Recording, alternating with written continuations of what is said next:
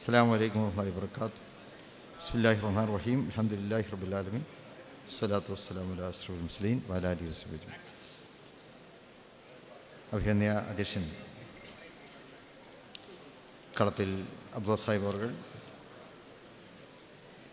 ഈ ജാഥയുടെ നമ്മുടെ എല്ലാ പരിപാടികളിലും നമുക്ക് ആവശ്യമായി നമ്മളോടൊപ്പം വന്ന് മുഖ്യ പ്രഭാഷണം എല്ലാ വേദികളിലും നിർവഹിക്കുന്ന സമാദരണീയനായ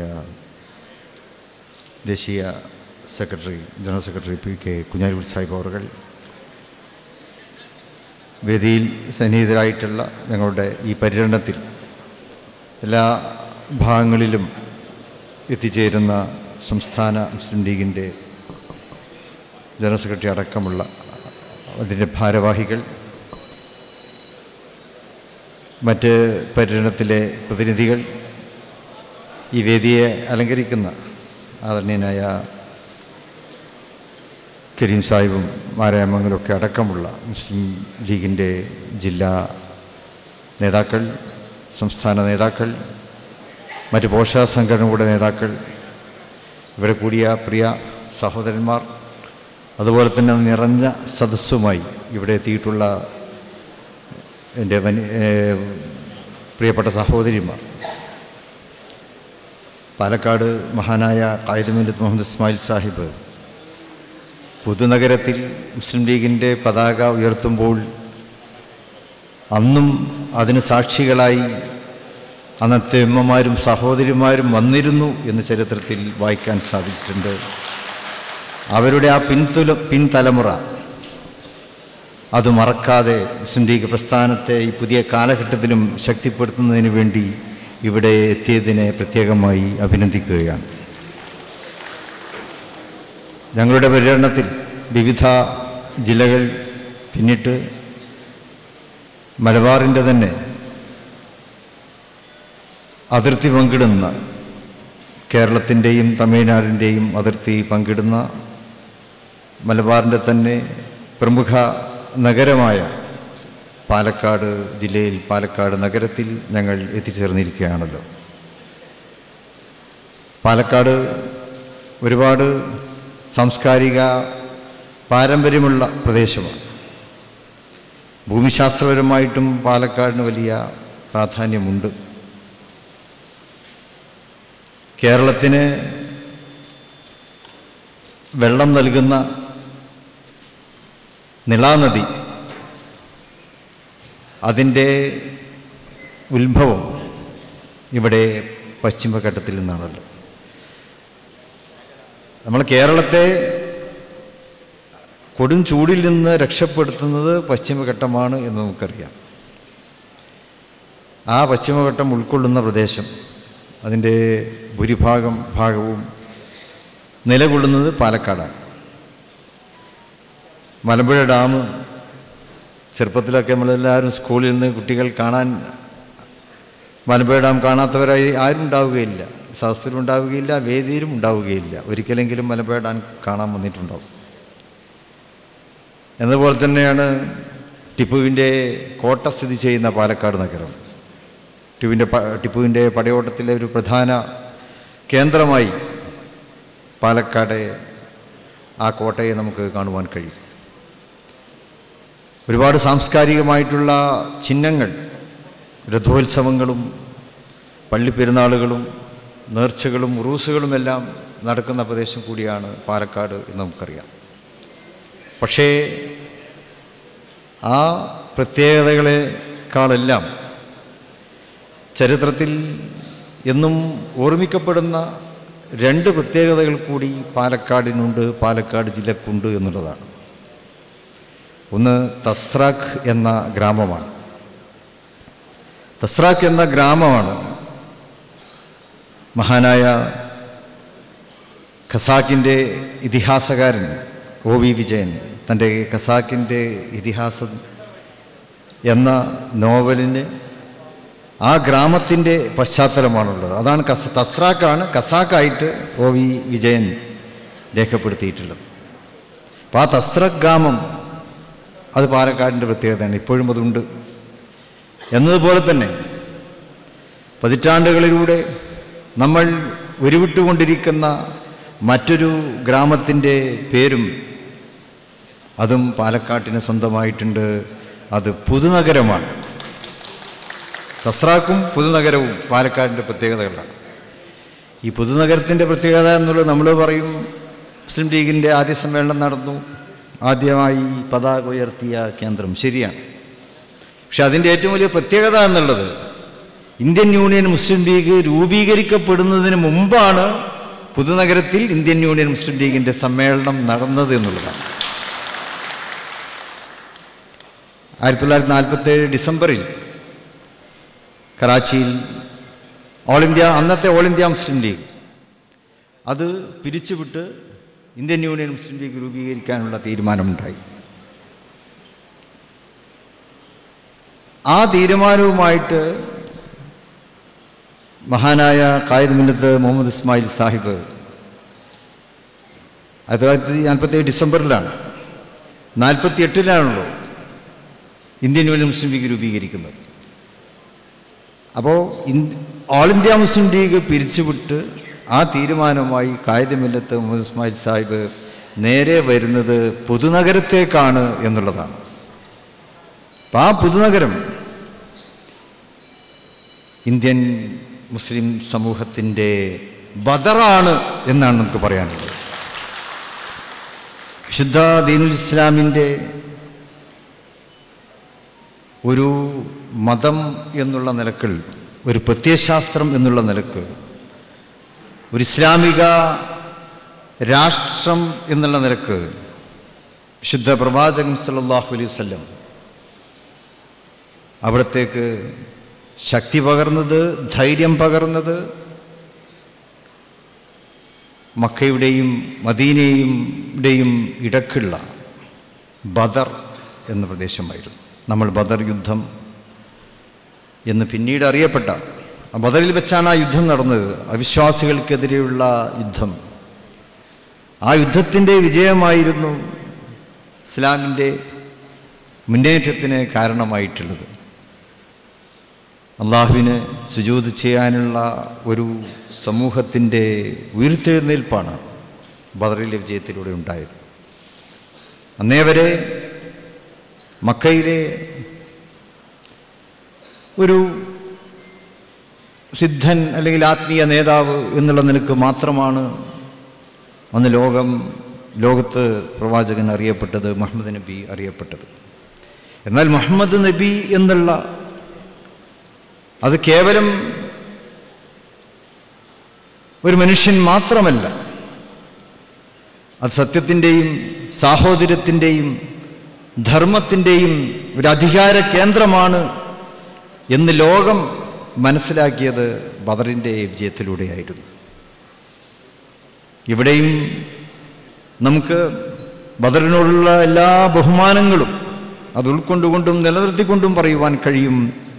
ഇന്ത്യൻ മുസ്ലിങ്ങളുടെ രാഷ്ട്രീയ വിജയത്തിന്റെ ബദറായി മാറുവാൻ സാധിച്ച ഒരു പ്രദേശമാണ് പാലക്കാട് ജില്ലയിലുള്ളത്. അത് നമ്മുടെ പുതുനഗരമാണ്. അതിൽ നിന്ന് ആവേശം ഉൾക്കൊള്ളുന്നവരാണ് നമ്മളെല്ലാവരും. ബദറിലെ വിജയത്തിന് ശേഷം വിശുദ്ധ പ്രവാചകർ സല്ലല്ലാഹു അലൈഹി വസല്ലമക്കും അനുയായികൾക്കും പിന്നീട് തിരിഞ്ഞു നോക്കേണ്ടി വന്നിട്ടില്ലല്ലോ. അതങ്ങ് മക്കയിലെ വിജയം വരെ മക്കം ഫത്ഹ് വരെ അത് നീണ്ടു നിന്നു എന്നുള്ളതാണല്ലോ ചരിത്രം. പുതുനഗരത്തിൽ കായിദബില്ലത്ത് മുഹമ്മദ് ഇസ്മായിൽ സാഹിബ് ഉയർത്തിയ പതാക ഹരിത പതാക. ആ ഹരിത പതാക പിന്നീട് ഒരിക്കൽ അത് വാനിലന്ന് ഉയർന്നു. ഈ രണ്ടായിരത്തി ഇരുപത്തിരണ്ടിലും അതേ ആവേശത്തോടെ ആ പതാക ഇന്ത്യയിൽ മുഴുവനും പാറിക്കളിക്കുകയാണ്. അതൊരു വിജയത്തിന്റെതാണ് ആത്മധൈര്യത്തിന്റെതാണ് ആത്മവിശ്വാസത്തിന്റെതാണ്. ഇന്ത്യയെപ്പോലെയുള്ള ഒരു വലിയ രാജ്യത്ത് അവിടുത്തെ ന്യൂനപക്ഷത്തിന്റെ രാഷ്ട്രീയ സംഘാടനം അതാണ് ഇന്ത്യൻ യൂണിയൻ മുസ്ലിം ലീഗിലൂടെ നിറവേറ്റപ്പെട്ടുകൊണ്ടിരിക്കുന്നത്. ആ രാഷ്ട്രീയ സംഘാടനം തികച്ചും ശരിയായിരുന്നു എന്നാണ് ഏഴര പതിറ്റാണ്ടിനിപ്പുറത്തും ഇന്ത്യ ഉറക്കെ പറയുന്നത്. ആ സന്ദേശം ഇന്ത്യയ്ക്ക് മാത്രമുള്ളതല്ല ലോകത്തെ ഏതെല്ലാം രാജ്യങ്ങളിൽ ന്യൂനപക്ഷങ്ങളുണ്ടോ ആ ന്യൂനപക്ഷങ്ങൾക്കൊക്കെ തന്നെ മാതൃകയാക്കാവുന്ന വിധത്തിലുള്ള സംഘാടനമാണ് ഇന്ത്യൻ യൂണിയൻ മുസ്ലിം ലീഗ് ലോകത്തിന് നൽകുന്നത്. ഇന്ത്യൻ യൂണിയൻ മുസ്ലിം ലീഗിന്റെ ചരിത്രത്തെക്കുറിച്ച് പഠിക്കുവാൻ വിദേശ സർവകലാശാലകളും മുന്നോട്ട് വരാറുണ്ട് വന്നിട്ടുണ്ട്. ന്യൂനപക്ഷ രാഷ്ട്രീയ സംഘാടനത്തെക്കുറിച്ച് പഠിക്കുമ്പോൾ അവർക്ക് ഇന്ത്യയിലെ ഇന്ത്യൻ യൂണിയൻ മുസ്ലിം ലീഗിന്റെ രാഷ്ട്രീയ ചരിത്രം രാഷ്ട്രതന്ത്രത്തിന്റെ ഭാഗമായി അവരവിടെ പഠിക്കുന്നുണ്ട് എന്നുള്ളതാണ്. നമ്മൾ ആരെയും മാറ്റി നിർത്തിയിട്ടല്ല. എല്ലാവരെയും അംഗീകരിച്ചുകൊണ്ട് ഉൾക്കൊണ്ടുകൊണ്ട് ഇന്ത്യയുടെ ഭരണഘടനയെ ഉൾക്കൊണ്ടുകൊണ്ട്. ന്യൂനപക്ഷ സംഘടന അങ്ങനെയാണല്ലോ വേണ്ടത്. അതല്ലാതെ എല്ലാവരെയും അകറ്റി നിർത്തിക്കൊണ്ടല്ല. നമ്മളെല്ലാവരെയും ഉൾക്കൊണ്ടുകൊണ്ടാണ്. എല്ലാവരെയും ഉൾക്കൊണ്ടുകൊണ്ട് മനസ്സിലാക്കിക്കൊണ്ട് പരസ്പര ബഹുമാനം നിലനിർത്തിക്കൊണ്ട് അതിലൂടെയുള്ളൊരു രാഷ്ട്രീയമാണ് മുസ്ലിം ലീഗ് നിർവഹിക്കുന്നത്. അങ്ങനെ മുന്നേറിയപ്പോൾ അധികാര കേന്ദ്രങ്ങളിലേക്കുള്ള വഴിയും സുഖവുമായി തുറക്കുവാൻ ഈ രാജ്യത്ത് നമുക്ക് സാധിച്ചു എന്നുള്ളത് ആയുധമില്ലത്ത് നമുക്ക് കാണിച്ചു തന്ന രാഷ്ട്രീയമായിരുന്നു ശരി എന്നുള്ളതാണ്. മറ്റൊരുപാട് രാഷ്ട്രീയ പാർട്ടികൾ ന്യൂനപക്ഷങ്ങളുടെയൊക്കെ പേരിൽ പലപ്പോഴായിട്ട് രാജ്യത്ത് രൂപീകരിക്കപ്പെട്ടിട്ടുണ്ടായിരുന്നെങ്കിലും അവയ്ക്കൊന്നും ആയുസ് ഉണ്ടായിരുന്നില്ല. കുറഞ്ഞ ആയുസ് അതിനൊക്കെ ഉണ്ടായിട്ടുള്ളൂ. എന്നാൽ മുസ്ലിം ലീഗ് ഇന്ത്യൻ യൂണിയൻ മുസ്ലിം ലീഗ് ആ പേര് നിലനിർത്തിക്കൊണ്ട് ഇന്നും ശക്തമായി മുന്നോട്ട് പോകുന്നു.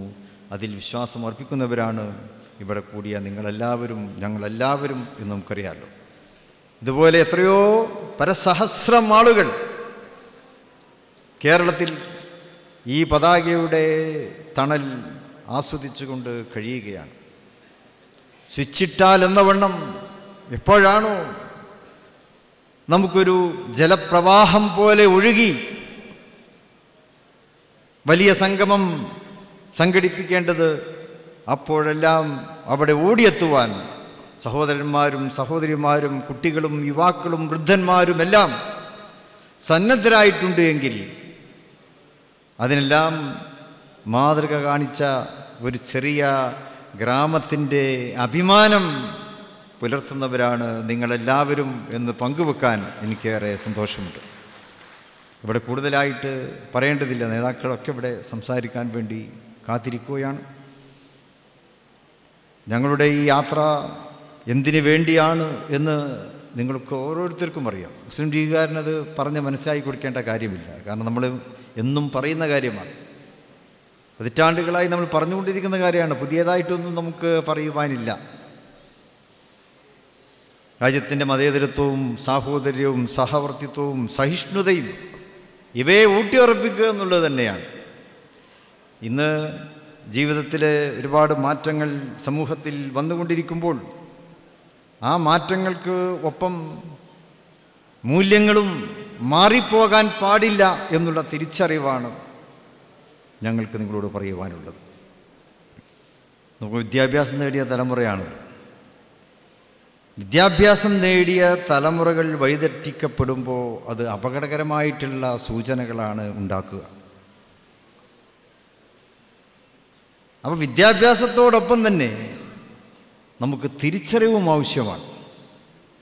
അനവസരത്തിൽ പലരും പല പ്രസ്താവനകളും ഒക്കെ ഇറക്കാറുണ്ട്. അവരൊന്നും അറിവില്ലാത്തവരല്ല. അറിവില്ലാത്തത് കൊണ്ടല്ല. പക്ഷേ തിരിച്ചറിവില്ല എന്നുള്ളത് കൊണ്ടാണ്. അപ്പോൾ തിരിച്ചറിവാണ് നമുക്ക് പ്രധാനമായിട്ടുള്ളത്. ആ തിരിച്ചറിവ് അത് നമുക്ക് നമ്മുടെ വിശ്വാസങ്ങൾ വിശ്വാസ പ്രമാണങ്ങൾ നമുക്ക് നൽകുകയാണ്. വിശ്വാസ പ്രമാണങ്ങളിലൂടെ നമ്മൾ ആ ആ തിരിച്ചറിവിനെയാണ് ഉൾക്കൊള്ളേണ്ടത്. അതിപ്പോൾ ഇന്ത്യയിൽ ആ തിരിച്ചറിവ് കൊടുക്കാൻ പ്രയാസമില്ല എന്നുള്ളതാണ്. പക്ഷെ ആരും അത് കൊടുക്കാൻ തയ്യാറാവുന്നില്ല എന്നുള്ളത് കൊണ്ടാണ്. കാരണം ഇന്ത്യയുടെ ഏറ്റവും വലിയ ശക്തി എന്നുള്ളത് ഇവിടുത്തെ മതങ്ങളാണ്. വിവിധ മതങ്ങളുടെ ഇറ്റിലമാണല്ലോ ഇന്ത്യ മഹാരാജ്യം. മതങ്ങളിൽ രണ്ട് കാര്യത്തിലാണ് നിഷ്കർഷ പുലർത്തുന്നത്. എല്ലാ മതത്തിനും എല്ലാ മതക്കാരും അവരുടേതായിട്ടുള്ള വിശ്വാസാചാരങ്ങളുടെ അവരുടേതായിട്ടുള്ള രീതിയിൽ ദൈവത്തിൽ വിശ്വസിക്കുന്നു. അപ്പോൾ ദൈവത്തോടുള്ള കടമയുണ്ട്. എല്ലാ മതങ്ങളും പറയുന്നതാണ് ദൈവത്തോടുള്ള കടമയുണ്ട്.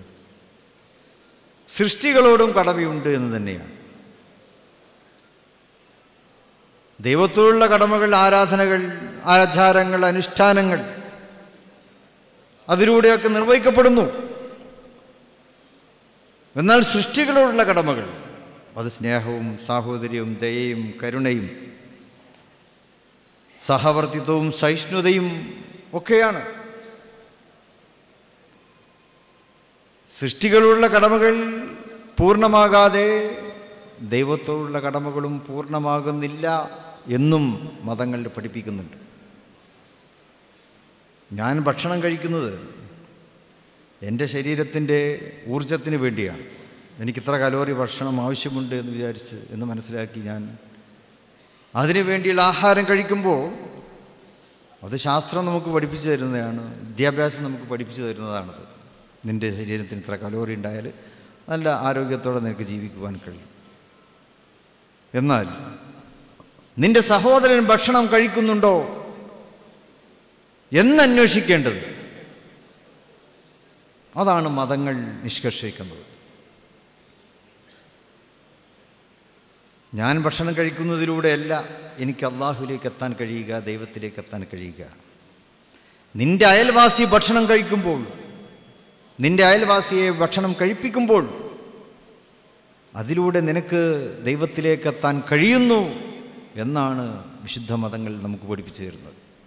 നിന്നെപ്പോലെ നിന്നെ നിന്റെ അയൽക്കാരനെയും സ്നേഹിക്കുക എന്ന് യേശു ക്രിസ്തു പറഞ്ഞത് അത് തന്നെയാണ്.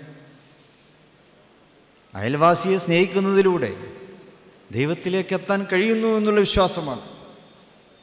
അപ്പോൾ ആ അറിവാണ് തിരിച്ചറിവ് എന്നുള്ളത്. അതല്ലാതെ നമ്മൾ സ്വയം ഭക്ഷണം കഴിക്കുകയും നമ്മുടെ അയൽവാസിയെ പട്ടിണിക്കിടുകയും ചെയ്യുമ്പോൾ നമുക്ക് ദൈവത്തിലേക്ക് എത്താൻ സാധിക്കുകയില്ല. നമ്മൾ എത്ര ആരാധനാമൂർത്തികളായാലും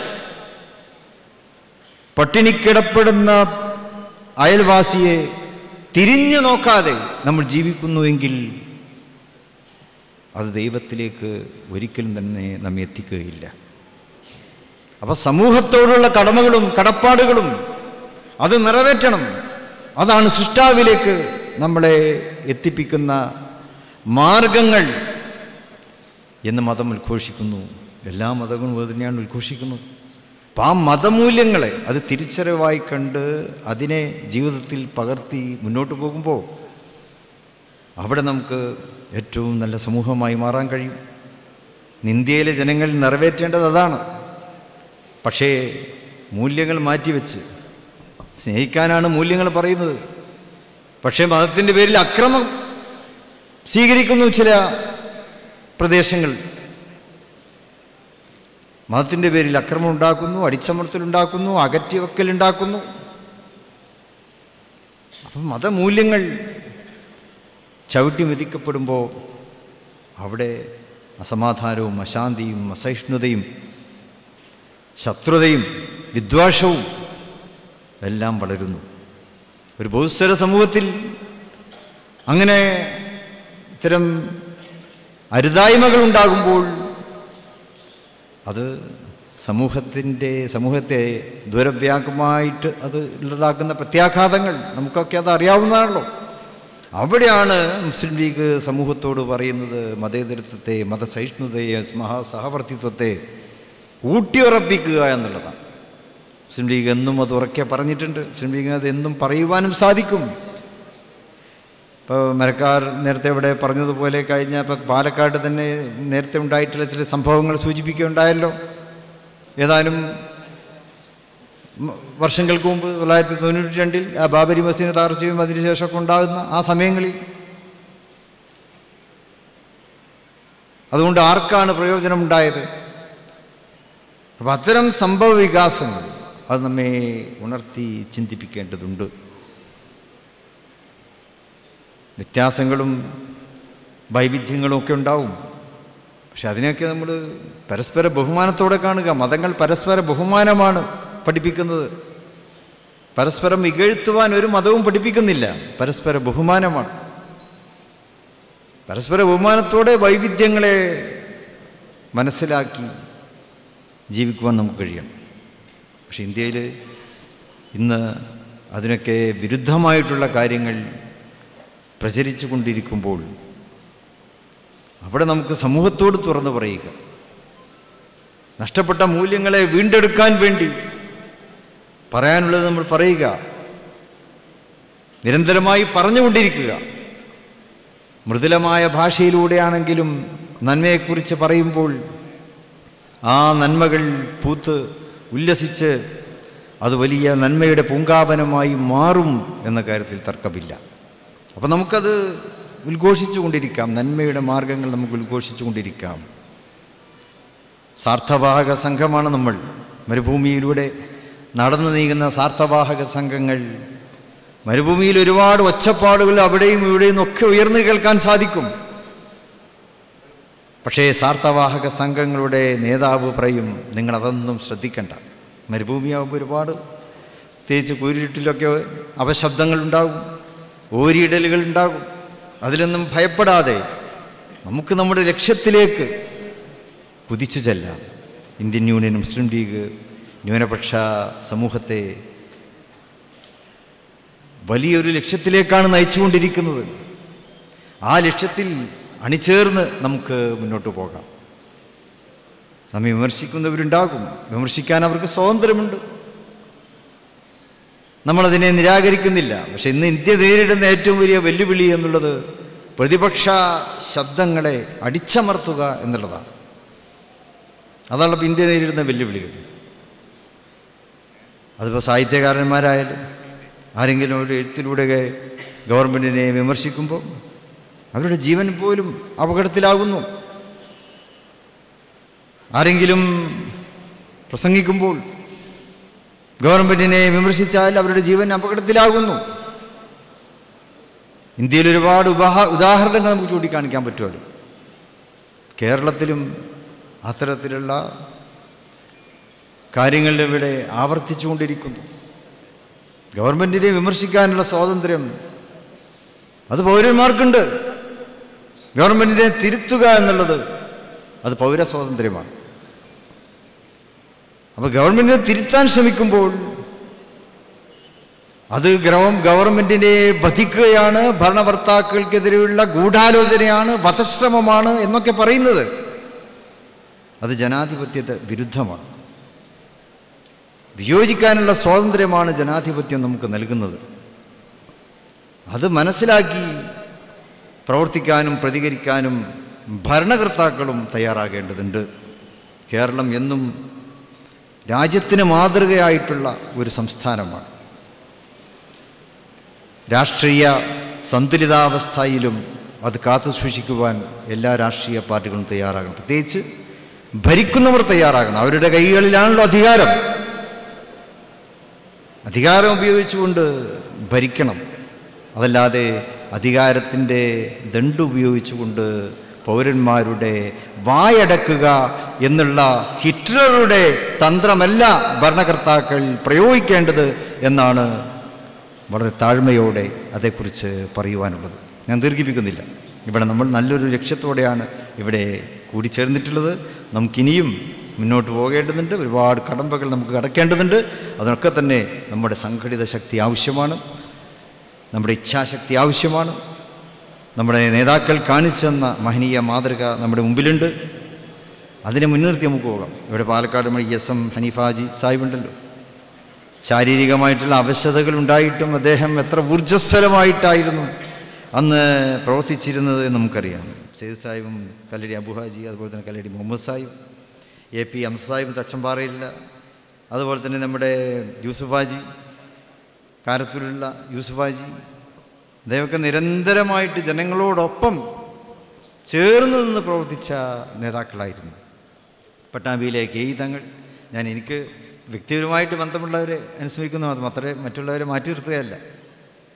കെ തങ്ങളൊക്കെ തന്നെ പട്ടാമ്പിയിലെ മുസ്ലിം ലീഗ് പ്രസ്ഥാനത്തെ കെട്ടിപ്പടുക്കുന്നതിൽ വലിയ പങ്ക് വഹിച്ചിട്ടുള്ള നേതാക്കളാണ്. പിന്നെ എന്റെ സുഹൃത്ത് ഉബൈദ് ചെങ്ങലേരി മുസ്ലിം യൂത്ത് ലീഗിന്റെ എക്കാലത്തെയും ഒരു ശക്തിയും ചൈതന്യവുമായിരുന്നു ഉബൈദ് ചെങ്ങലേരി കുറഞ്ഞ ആയുസ്സേ അള്ളാഹു അദ്ദേഹത്തിന് നൽകിയുള്ളൂ.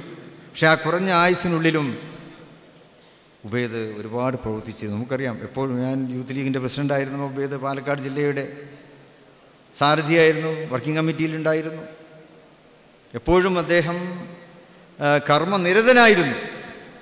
അദ്ദേഹത്തെ പോലെയുള്ള യുവ നേതാക്കൾ അവരെല്ലാം നമുക്ക് മാതൃക കാണിച്ചവരാണ്. റബ്ബ് സുബാനോ താല അവർക്കെല്ലാം മഫറത്തും മർഹമത്തും നൽകുമാറാകട്ടെ എന്ന് പ്രാർത്ഥിച്ചുകൊണ്ട് ഈ പരിപാടിയുടെ ഔപചാരികമായ ഉദ്ഘാടനം അള്ളാഹുവിന്റെ തിരുനാമത്തിൽ നിർവഹിച്ചതായി അറിയിക്കുന്നു. വഹ്രദേവാന അലഹമുല്ലാ അസ്സാം വലൈക്കും വർഹമുല്ല